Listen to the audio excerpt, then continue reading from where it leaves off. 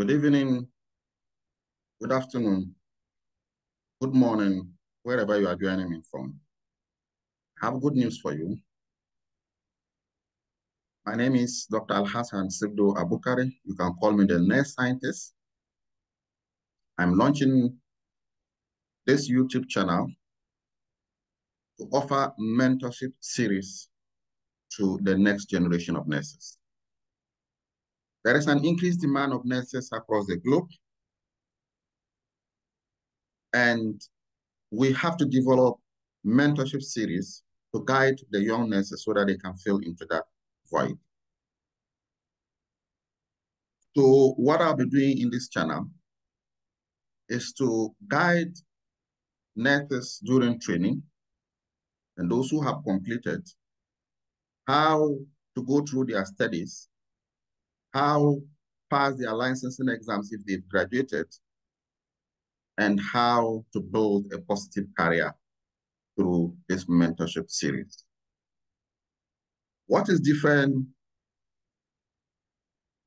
from other channels out there is that the channels out there are, most of them are geared towards guiding students to pass licensing exams.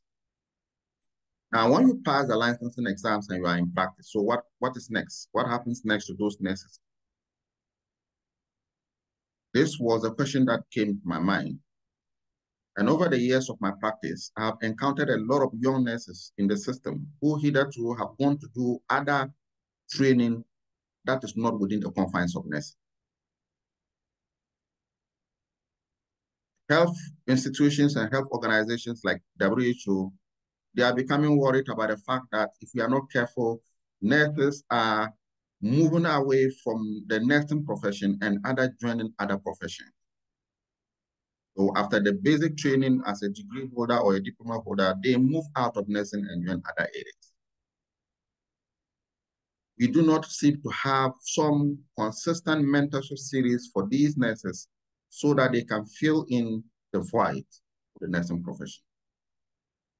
The top leadership levels of nursing will cry in the next five to 10 years if we don't continue to build a positive threshold of nurses who are good enough and will want to continue to stay within the nursing profession.